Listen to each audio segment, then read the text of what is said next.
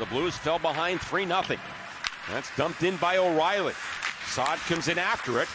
He knocks it away. Now for Rosen a shot, and that goes wide. Centered by O'Reilly, and he scores. It's in the net. Off the skates of the goaltender, and O'Reilly makes it four to two. Yeah, give Rosen plenty of credit though. Just that mentality. Once he got the puck on his stick, he didn't wait a split second. Calle Rosen didn't before he ripped that one.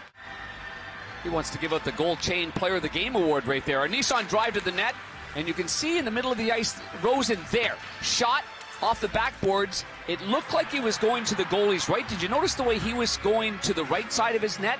It hit the back part of the net there, and instead of going to the side that Knight thought it was going to, it ends up